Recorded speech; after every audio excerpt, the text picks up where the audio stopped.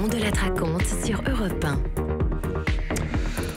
Un peu de détente dans ce monde de brut. Bonsoir Benjamin Muller. Bonsoir Christophe, bonsoir à tous. Vous avez écouté nos concurrents aujourd'hui. Écoutez, beaucoup de petites phrases aujourd'hui, des petites phrases politiques toutes plus assassines les unes que les autres. Ça doit vouloir dire que la tension monte d'un cran, notamment entre les républicains et le gouvernement. Première attaque Rachida Dati sur RMC.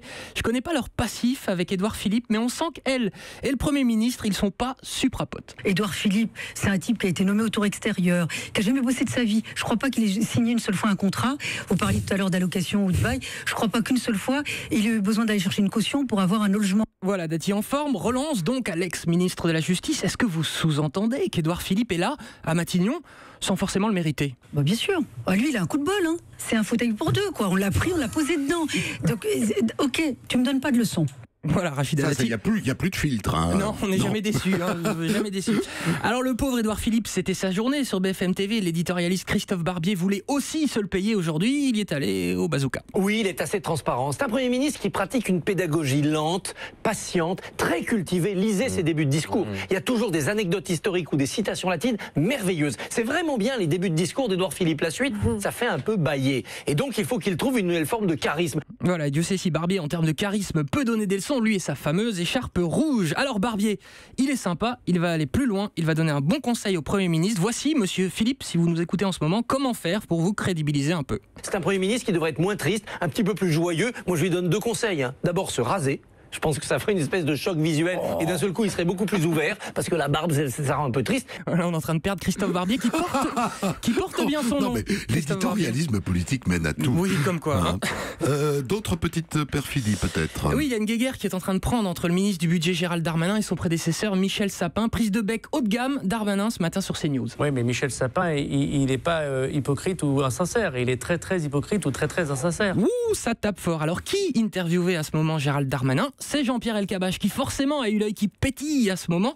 Du coup, il a tenté un petit coup. On va voir ensemble, tous ensemble, si ça a marché. Je pense que quand on est à ce niveau d'irresponsabilité, je crois que le mieux, c'est effectivement de ne plus commenter. La meilleure des choses, c'est qu'un jour vous discutiez, vous débattiez tous les deux, et par exemple à CNews, vous y êtes prêts mais éventuellement. Moi, ce qui m'intéresse, c'est parler avec les hommes d'avenir. Ah, dommage, Jean-Pierre, c'était bien tenté. Michel Sapin, KO, fin du match.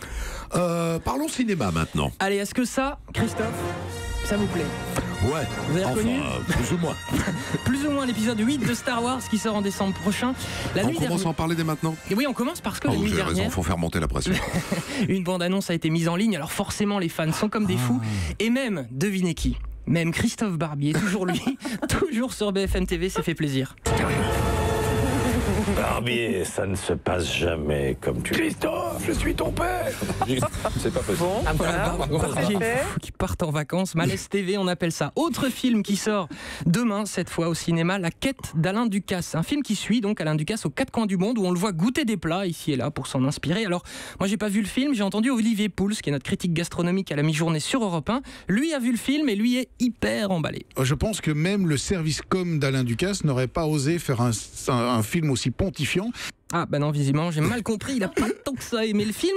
Pourtant, quand même, du casse, c'est la gastronomie française, c'est la classe, ça doit faire frissonner les papilles, non? En sortant du film, le pire, c'est que ça ne m'a même pas donné ni faim, ni donné envie d'aller ah dans un, de ces restaurants. Et ça, c'est qui vous donne pas faim, c'est très inquiétant. Eh bah raté, dommage. Allez, on termine avec une idée de sortie, si on, vous ne savez pas quoi faire, par exemple, le week-end prochain. oui, c'est CNews qui nous donne l'idée, ils ont rencontré des fans de Napoléon, mais genre fans de chez fans qui chaque week-end se retrouvent entre eux, se déguisent et se plonge dans le personnage. Franchement, ça donne envie. C'est une vie euh, à part, quoi. Vous voyez, on mange sur le, sur le feu, on, dort sur la paille, on marche, on marche quel, que soit le temps. Et on se retrouve, on fait des batailles. C'est pareil, là, c'est grandiose parfois. Hein. Ah bah oui, j'imagine, Christophe, le week-end prochain, on y va tous les ouais, deux ouais, ouais, Surtout qu'il fait beau, on en profite. Ça va être cool et en plus, en plus, j'ai des détails en plus. Bah là, on s'est pas lavé depuis euh, vendredi matin, quoi. Donc forcément, euh, on le sent. Eh bah oui, on ah oui, ça, mais pour les vacances, il n'y a, pas, a pas mieux. Trois jours sans douche, c'est pas terrible. Et d'ailleurs, je vais finir avec ça, un son bien crado. Je préviens bien, bien crado. Trouvant en regardant C'est mon choix, l'émission d'Evelyne Thomas. Hein, écoutez, je regarde ce que je peux. Elle a reçu un monsieur pour qui le manque d'hygiène, c'est trop sexe. Ma femme rentre le soir, elle me dit qu'elle pue. J'adore. Ah J'adore. Et je fais l'amour avec elle. c'est pas possible. Moi, bien sûr. Et je vais vous dire un truc. On a fait l'amour la nuit. Et le matin, le mélange, les odeurs. Allez, on s'arrête Voilà, là. voilà. Bon appétit à ceux qui Voilà, mangent. voilà. Bonne soirée tout le monde. Nous avons perdu Barbier et Benjamin Muller aujourd'hui. Parce que dans ce qui concerne Evelyne Thomas, ça fait très longtemps qu'on l'a perdu. Merci, merci Benjamin.